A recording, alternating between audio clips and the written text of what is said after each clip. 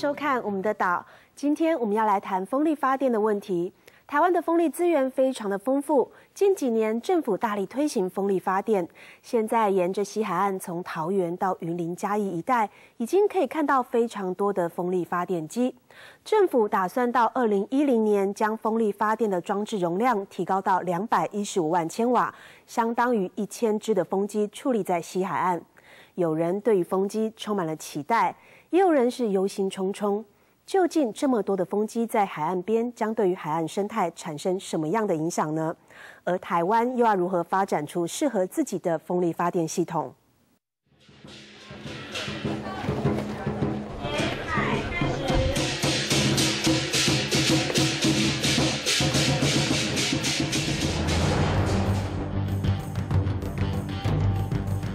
二零零六年四月，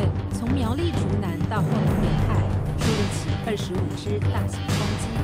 也开启了民营电厂在台湾投资风力发电的机会。当时民间业者对发展风力发电有期待。两年多过去了，民营电厂看好台湾风资源的潜力，打算在西海岸继续扩张。但是居民与保育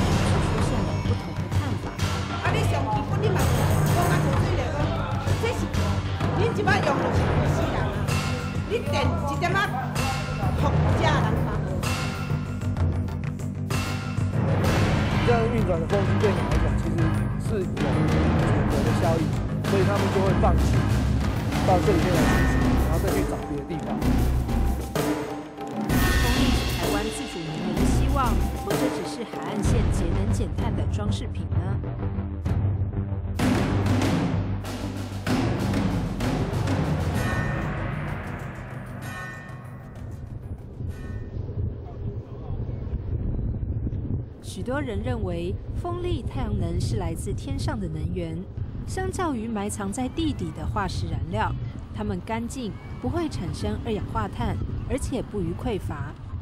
台湾正好有非常好的风力资源，像我们的西部海岸，或是我们这些离岛地区啊，风力资源都蛮丰富的。有，尤其在特别的季节啊，全年来看的话。满发时数哈，大概都超过两千五百小时，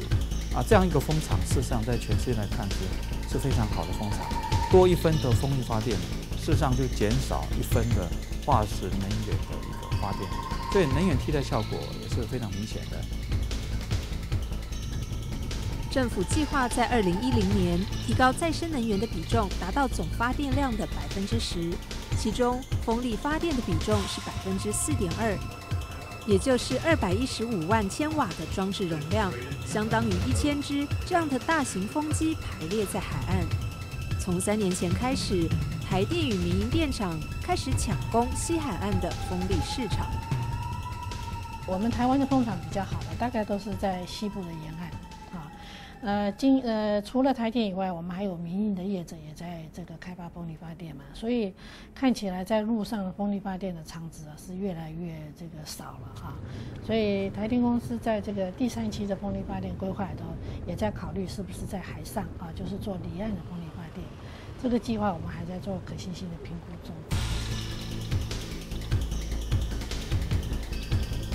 目前德商英华威的风场在苗栗、台中、彰化，而台电的风力计划分为三期，涵盖范围包括台北县林口、桃园、新竹香山、台中港、彰滨工业区、云林麦寮、台南等地，超过三百只以上的风机，让西海岸俨然成为风机的天下。但是风大的地方，却也是候鸟飞行的廊道。许多蜂场就坐落在候鸟的栖息地旁，紧邻生态敏感的湿地。也就像我们现在看到高美湿地这一边，在台中港区这个防风林区，它盖了二十座的风力发电机。那水鸟要从退潮地方，就是涨潮之后，它觅食地被海水淹进来，它要飞到内陆来栖息的时候，这个界面对鸟来讲就已经是一个阻碍了。就陆科他们会栖息在这个防风林这边。长期在高美湿地与张滨湿地观察鸟类的蔡家阳发现，在风机设置之后，高美湿地的候鸟数量正逐渐减少。我所知道的，像大勺鹬这种鹬鸻科的鹬科大型鹬科的鸟，就已经从最近几年从一千五百一直掉到现在不到三百只。那其他小型育儿科、冰玉或者是东方环景人，保守估计大概会掉两成到三成。台湾西海岸是候鸟迁徙路途中重要的加油站。如今高美湿地和张滨湿地一排又一排的风机，会不会形成栅栏效应，把栖地切割得更零碎，让长途迁徙的候鸟来到台湾后，竟找不到一个落脚处呢？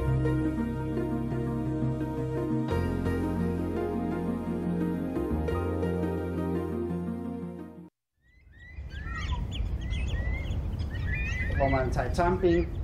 风机是在工业区，都是工业工业地。实际上，在风机的位置几乎没有湿地。我这边设一台风机，万一万一万一这一只鸟不是这样飞着绕过来飞，对不对？这个可能，我我我我不能否认。那这个鸟那边有一个湿地，它这个不是风站的位置上，是一公里有两公里的距离的，可能它受到影响，可能它怕怕的。实际上没人看到怕怕的，我们书里没有。但是你的影响，但是反过来说，今天我们不盖风场，旁边盖一个火力发电厂，它放很多 CO2，那等于说是那个那个地球暖化了，那就把海边的往上走几公分，就整个湿地都不见了，就那些鸟百分之百都不见了。但是我们进口这么多风力机组，真能抵挡火力电厂的兴建吗？我们并没有办法，因为盖了几百座风力发电，然后来少盖一座火力电厂。在彰化现在就面临这个问题。我们彰化现在风力发电机是密度最高的，但是还得在旁边盖一座张工火力电厂。再生能源选址的风波，不光是发生在风力发电。政府计划二零一零年太阳光电的发电目标要到一万千瓦，台电于是规划在永安盐田设置五千千瓦的太阳光电系统，占地六点六五公顷，这将是全亚洲最大的太阳光电系统之一。但是在同时，这里也是南台湾候鸟的天堂。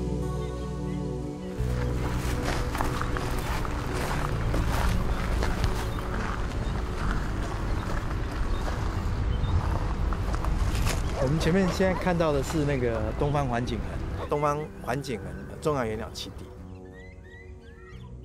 比较低洼的这个地方哈，它积水的地方大概就候鸟觅食会在这个地方，然后比较往路中央靠的部分呢，它是属于过去的那个晒盐的结晶池，那它地势比较高，所以呢会有一些候鸟在那个地方栖息，甚至是啊繁殖下蛋。那未来如果说这个地方全部开发了，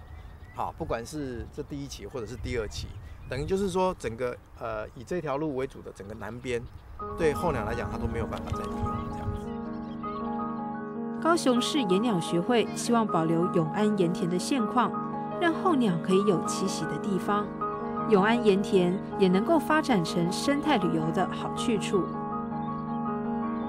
这个地方可以来做一个很好的整体规划，它可以像像关渡自然公园有赏鸟的资源。可以像七股的盐山，可以把这种盐业文化再造的这样的一个产业复兴的活动再再带动起来。然后呢，也有红树林的这个湿地生态，可以让大家来了解这样的一个很棒的一个户外教室哈。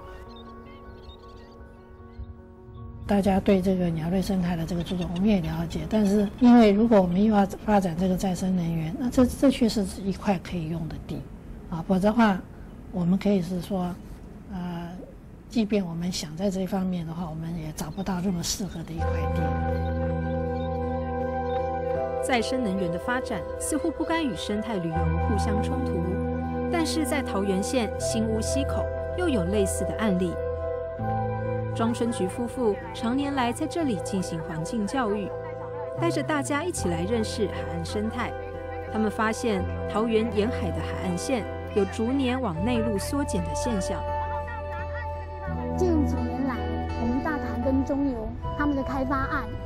经过一个很好的审慎的一个环评，所以呢，造就他们这样子把凸体造就出来之后，就变成了凸体的效应。那很快的哦，几次的暴潮跟台风来之后呢，整个大潮呢就把我们这个海岸线的防防风林呢就这样一层一层的给带走了。外海的防风林不断被侵蚀，内陆的防风林却也面临危机。英华威公司预计在桃园沿海一带设置风机，观音乡十九座，新屋乡十八座，其中新屋乡永兴村就占了十二座。点状的开发很可能会让带状防风林生态遭到破坏。要做一个风机，它的面最少差不多一分半的一个土地，从施工道路连基座，那一个缺口几公尺就一个缺口，风机的缺口，那缺口到最后就溃体，那就影响永兴社区里面的居民的一个生命财产。当强劲的海风来袭，防风林担任着守护者的角色，不让永兴村村民受到强风的威胁。当地村民担心，风机设立后产生的风洞效应会影响到居住安全。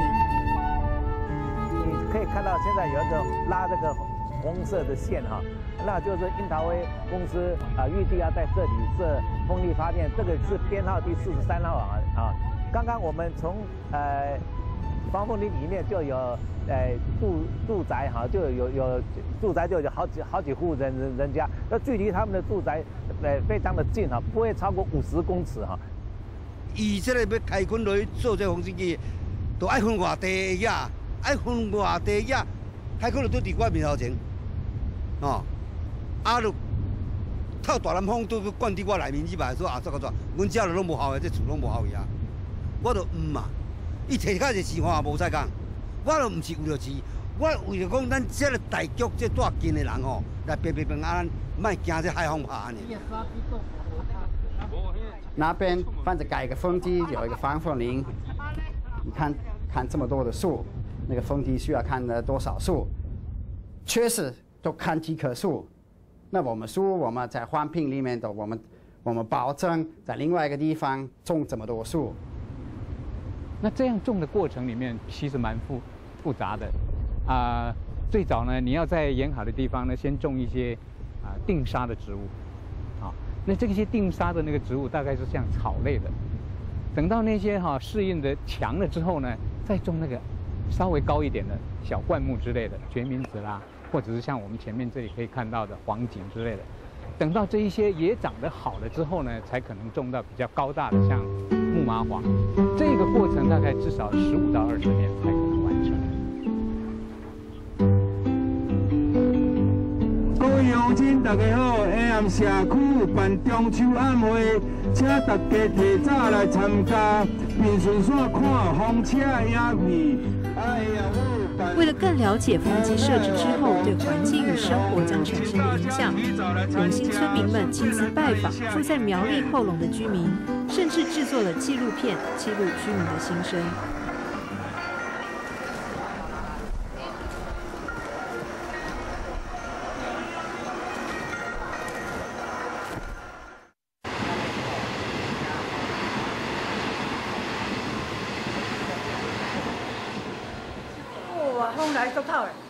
呼呼叫，安尼呼呼。啊，有时暗时若听会个会惊，安尼个呼呼者。除了噪音的问题外，苗栗风场还发生过风机叶片坠落的事件。伊迄次算讲伫海墘，迄摆都有一支歹去无，险险射入来，险险射着人的厝。哦，是伫尾流遐有险险一支。伊迄面顶迄叶巴无。为什么来来唔知啊，伊迄就是无安全，冲了无安全啊！啊，规个规个去射射对人内底的，啊上面无人钓，那有人钓，迄就有都好射散。这几年风机失火倒塌的意外接连发生，台中港的二号风机在强密台风来袭时倒下，现场仍遗留着许多碎片。这边应该是倒下来的这些叶片的碎片都在这边。今年四五月间，台电运转中的八十二座风机，高达半数是故障停机。我们在第一期做的时候，我们的当然经验也不太足了啊，而且那个时候我们编列的预算也太低了一点，所以第一期风力发电这个的一些设备啊都不稳定，稳定。那有的就是故障率高啊，也也发生了几个事故，零件的这个故障与意外事件频传，让人质疑大型风机在组装与维护管理上，本土经验似乎不足。再生能源应该是要更更细致的去使用它，而不是一味的就从国外这样直接移植过来，说跟他们买机组或是配置的方式。其实，因为我们的土地资源有限，然后人口密度又高，其实跟国外那种条件状况都是不太一样。以大型电厂的方式集中设置再生能源，虽然在短期内可以拉高发电的比重，长期来看终究会面临土地取得不易的问题。小而分散的社区型发电，或许是另一个解决问题的途径。这个三百瓦，这个是三 k 瓦，后面另外一个是十 k 瓦。大型风机位于空旷地区，受地形风影响不大。但是小型风机多半应用在都会区，容易受到地形风与乱流的影响。国内业者自行研发的垂直轴风机，可以克服地形风的问题。垂直轴的这个设计啊，本身就是根据这个风向不稳定性啊来克服的，因为它就像一个陀螺这样的旋转了，所以你风从四面八方来，对它来讲效果是一样的。目前政府对于家户装设小型风机，并没有任何补助，国内业者只好把眼光放在国外，准备大举进军欧洲市场。国际间呢，事实上市场是非常非常巨大了，五年之内应该最少能够卖到一百五十亿以上的金额了哈。呃，主要是说欧洲已经开始把这个小型风力发电呢全面纳入他们居家的这个用电的这个补助，所以说这个市场是从呃这一两年快速的成长。目前我们注意到国内厂商有在发展这个小型风力机，然后呃比较有一个趋势是希望，比如说在都市里头来设置这样的小型风力机，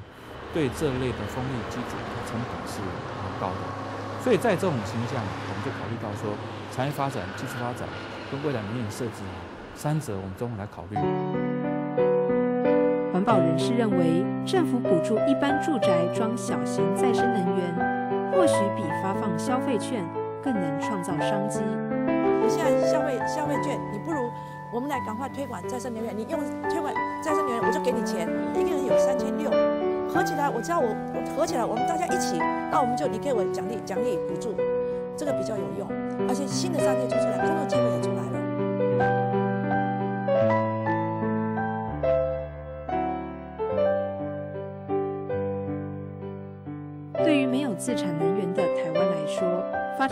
生能源是一条唯一的路。但是在快速移植国外风机的同时，如何建立自己的再生能源产业，创造再生能源与生态保护双赢的空间？还需要更严谨的评估才是。